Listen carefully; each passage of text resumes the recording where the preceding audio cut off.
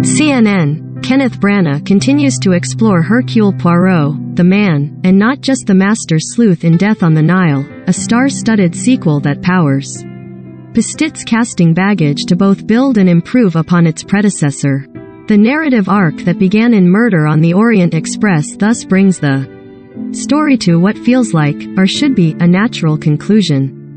Reprising his role as producer, director and star and again working with writer Michael Green, Branagh opens the film with a flashback to World War I, adding layers to the origins of Poirot's melancholy. But soon enough, Agatha Christie's creation is however grudgingly back on the case, joining his young friend Bouc, Tom Bateman, on a trip down the Nile along with a honeymoon party where, as luck would have it, everyone seems to have a motive to murder the I am hiding from cases, Poirot protests.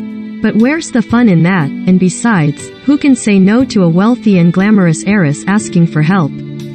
That would be Linnet Ridgeway, Gal Gadot, who is celebrating her whirlwind romance and marriage to Simon Doyle, Armie Hammer, who she met when he was engaged to her longtime friend Jacqueline, Emma Mackey, more than holding her own with the bigger names here. Heartbroken, Jacqueline has pursued the couple on their excursion to Egypt, culminating on a boat populated by the small wedding group. The course of events leaves Poirot playing catch-up much of the time, before eventually putting the pieces together in a way that's every bit as satisfying as Orient Express.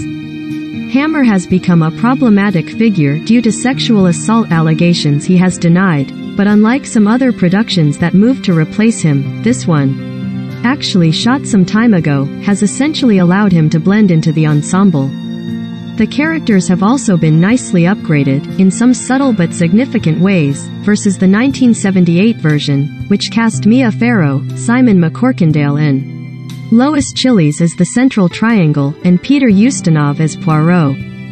While Gadot and Hammer represent two of the most prominent names, the performances are top-notch across the board, perhaps foremost among them Sophie Okonedo as a Bluesinger, whose daughter, Letitia Wright, is one of Linnet's old friends. There's obviously a bit of calculation in introducing more depth to Poirot, making him more interesting for Branagh to play. Yet the filmmakers manage to incorporate that without detracting from the central mystery, and the pace chugs along briskly enough, with plenty of stunning scenery when outside those stuffy cruise rooms. Already riding high on this week's seven Oscar nominations for Belfast, Branagh has delivered a polished follow-up to his earlier Christie excursion. That won't win any awards, but which seems to bring this conjoined chapter to a satisfying close. While that might not translate into as bountiful harvest from theaters, this sort of amiable mystery should enjoy a long shelf life. If so, Branagh and his alter ego could be tempted not to hide from cases for very long.